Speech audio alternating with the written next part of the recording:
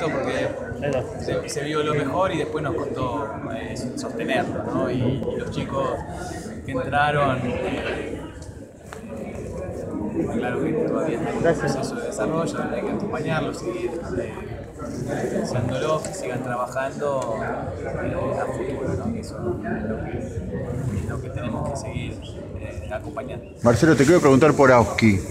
¿Qué es lo que se puede decir a esta hora? ¿Qué sabes? ¿Está hecho? ¿Falta? Mirá, eh, está bien encaminado, todavía no hay una confirmación estar. Gracias.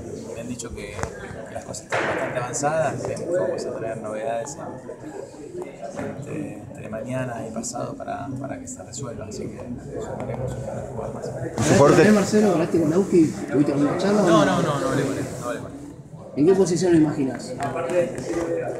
Bueno, es, eh, es delantero que ha jugado eh, por las bandas, puede, puede jugar por la banda, puede jugar de, de- de- de media punta también. O sea, es un jugador que, que puede venir y complementarse eh, al, al equipo y también una alternativa más ¿no? para, para generar competencia interna y que, que también eh, haya, haya movimientos que nos puedan potenciar también dentro de lo que es eh, nuestra competencia. Marcelo, en el balance de, la pretemporada que vos haces, además de Auski, ¿sentís que debería llegar otro refuerzo, que el plantel está un poco corto? Estamos eh, eh, viendo alternativas, sí. O sea, no es fácil, ya vieron la problemática que existe en el fútbol argentino. Vamos al, al- al problema de fondo, ¿no? Es la problemática que existe en nuestro fútbol. Y después imagínense que no es fácil todo lo demás. Así que bueno, vamos viendo y de, acuerdo a, lo- algunas alternativas que vamos eh, teniendo, eh, iremos viendo si podemos eh, concretar alguna, alguna llegada más. Ya lo había dicho hace una semana.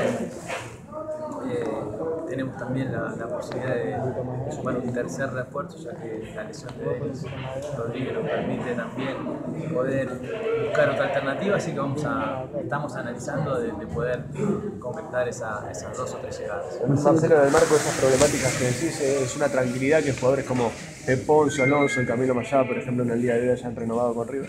Sí, sí, eso, eso es bueno, porque yo lo dije también hace mucho tiempo que el, el mantener el equipo eh, no es fácil y nosotros podemos, podemos hacerlo. Que los jugadores sientan esa- ese deseo también de, continuar en el club, más allá de algunas propuestas que han tenido de diferentes lugares.